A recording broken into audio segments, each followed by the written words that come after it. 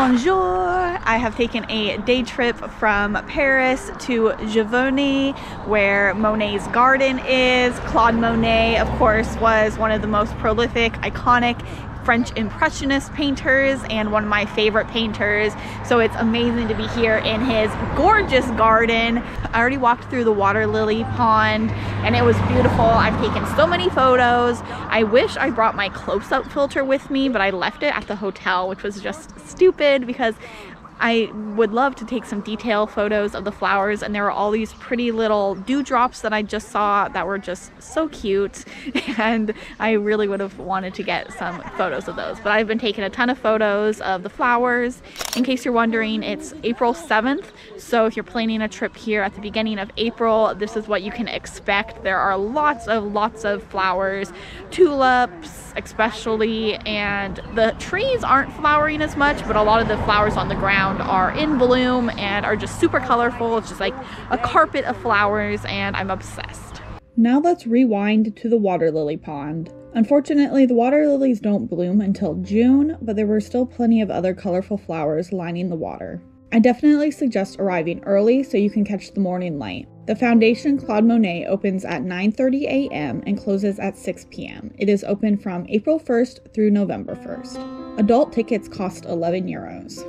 Claude Monet was born in Paris in 1840. He is known as being a founder of the Impressionist style of painting, which is characterized by thin, visible brushstrokes and a focus on depicting light and movement. In 1883, Monet moved to Giverny, where he produced some of his most recognized work. He created numerous paintings in his immense garden, particularly of water lilies and his Japanese bridge.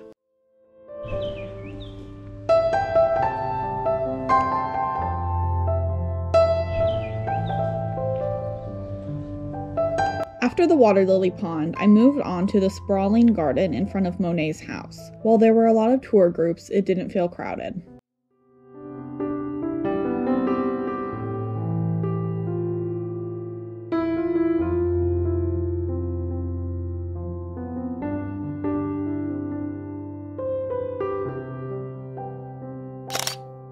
Monet's pink house is incredibly cute with its green shutters and vines. The inside is just as cute with bright colors, vintage furnishings, and tiles. It was awesome seeing Monet's studio as well.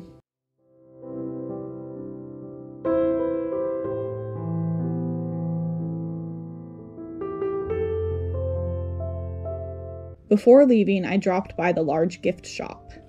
I have exited the gardens and I'm gonna wander around Giverny a little bit more.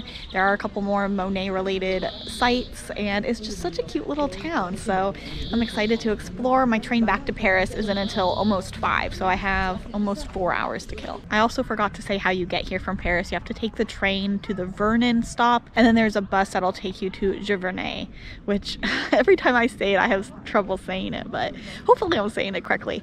Um, anyway, I am here here at the Impressionist Museum. I might not go inside because I'm trying to save money, but there is a little garden area outside, so I'm gonna wander around and just take in the views.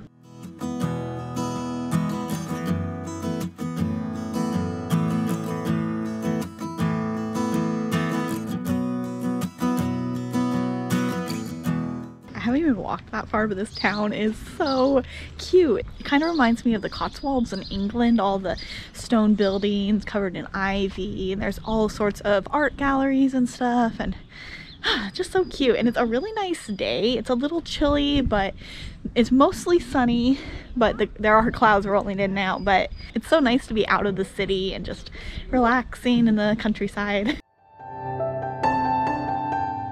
I'm now at this cute little church and Monet's grave.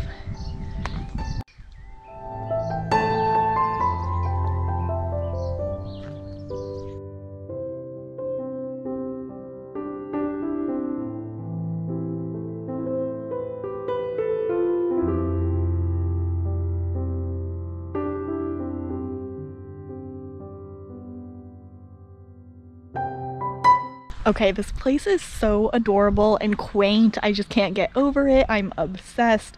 I'm taking so many photos and I just love it. Outside of like the main garden area, like there's no one, especially on like the back streets. It's amazing.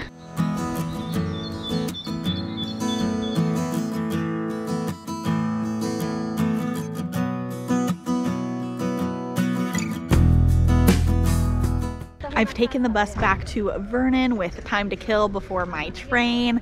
I went to the grocery store and got a little falafel wrap and some chips and ate it here in front of the church, which is beautiful.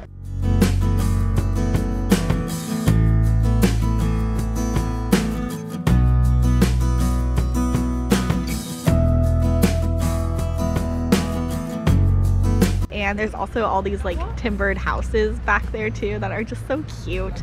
My heart is just so full right now. I was kind of dreading this trip because Portugal, my last trip, there were some days where I just wasn't feeling it, was feeling kind of down and lonely, but so far this trip has been pretty awesome, but it is a long trip and I'm not that far into it, so I guess we'll see how it goes. But until then, today was amazing, and I definitely suggest coming to Giverny if you are, you know, into cute little towns or flowers or Monet because the garden was amazing. Definitely one of the best day trips from Paris and I highly suggest it. This is going to be the end of the vlog. Make sure you're subscribed to see the next France video when it goes online. And just thank you so much for watching. See you next time. Paris to Giverny and then there's a bus that'll bring you to Giverny.